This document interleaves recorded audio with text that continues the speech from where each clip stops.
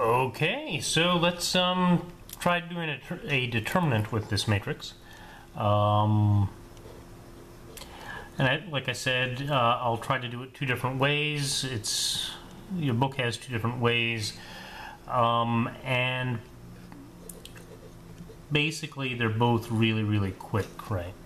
Um, so we, you know, start with some matrix A, right, and that's equal to um, you know, nine numbers, minus two, two, minus six, five, zero, one, one, minus two, two. Okay, it's a matrix, so either we give it the double arrow or no arrow at all. Okay, so don't know why I keep doing that. All right, find. Okay, it's determined. Okay, and method one, um, the you know the way you're normally shown shown that what the determinant means is uh, using this cofactor expansion, right?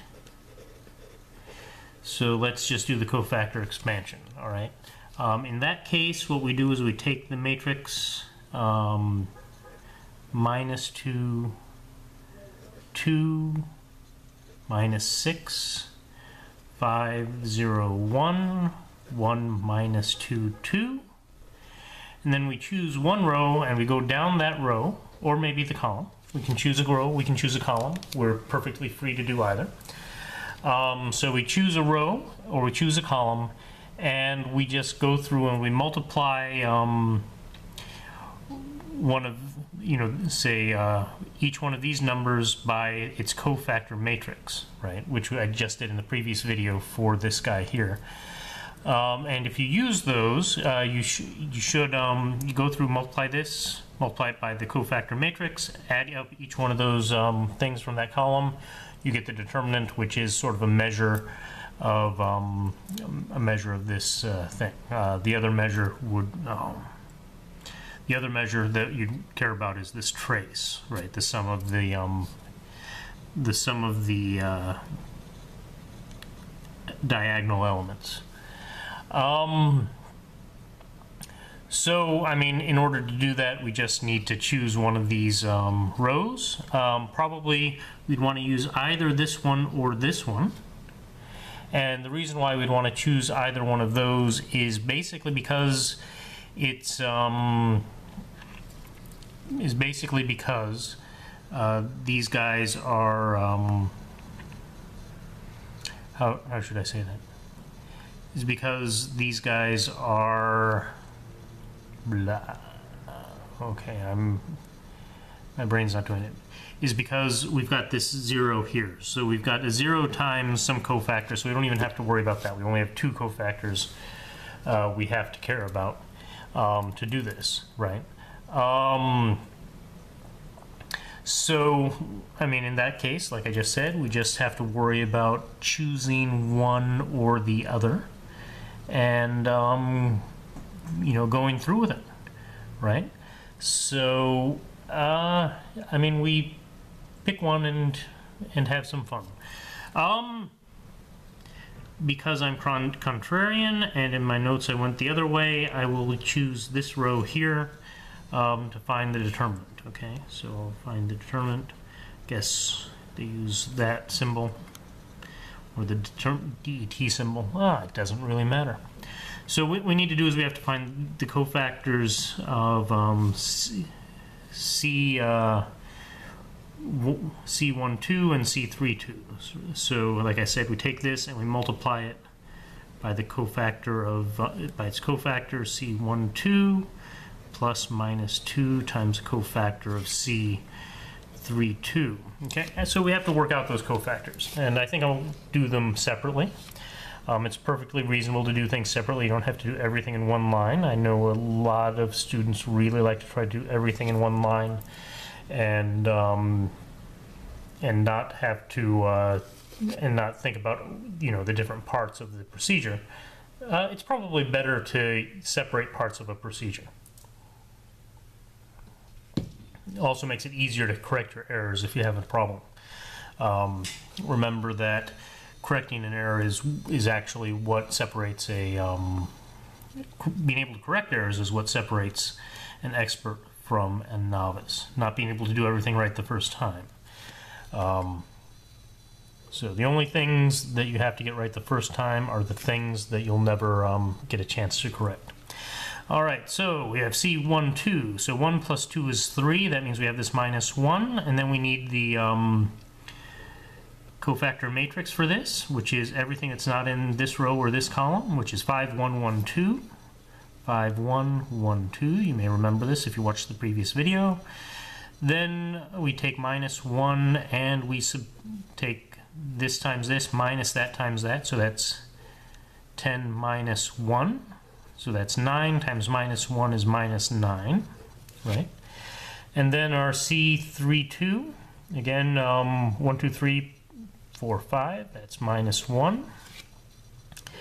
And then we do this other one, minus 2, minus 6, 5, 1.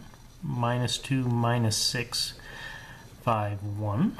Okay, so that's minus 1 times um, minus 2 times 1, which is uh, minus 2, minus um, minus 6 times 5, right, which is um, okay, minus 6 times 5 is 30. So that means we have 30 minus 2, which is 28 times minus 1, which is minus 28. Okay. And now we can use these in here, all right?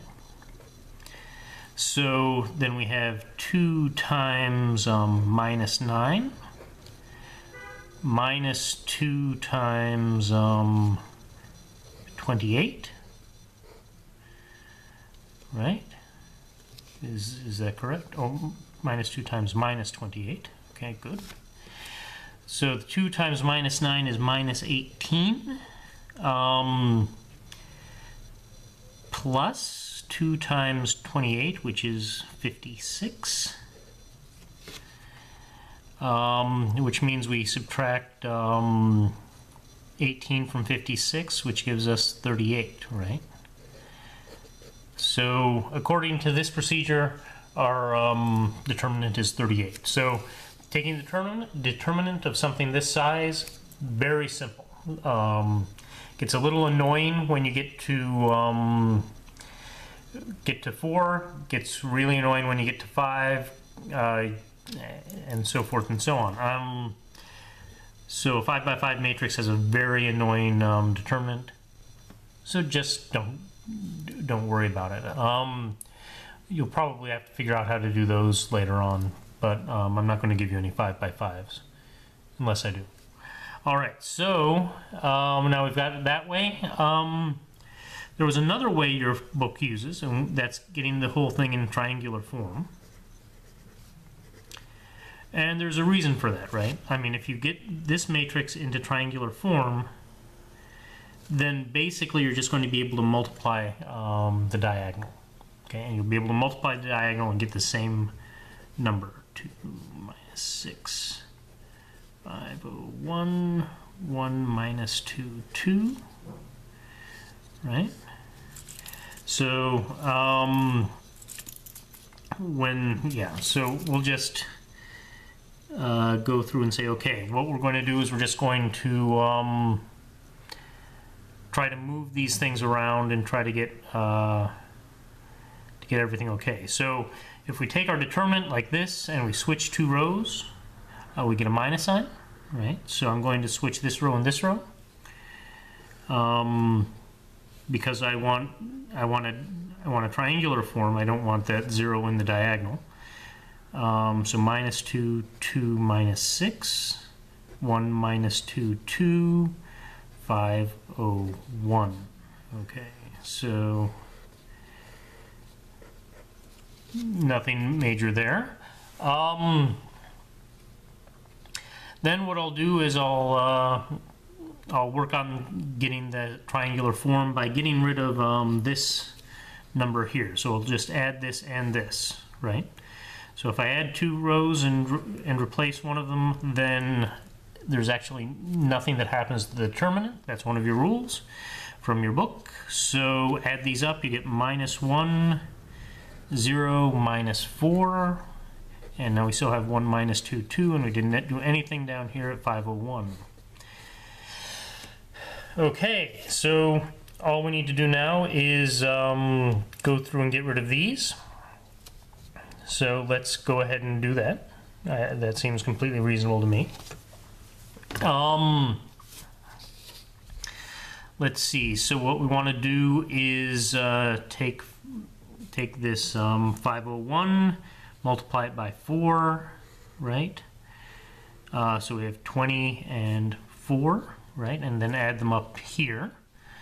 Um, and then we have 20 minus 1 is 19, right? 0 plus 0, we're sitting at 0. We're happy with that. 4 plus 4 is 0. So that's, that's okay. That's where we want to go, right? Uh, we want all these three to be zeros in a nice triangular form. Um, and now we can multiply this by we can multiply this one here by minus 5 and add this guy. So that's minus 5 minus um, 10 and um, no, I don't want 5. I want 2. Sorry, excuse me. I want 2. So we have um,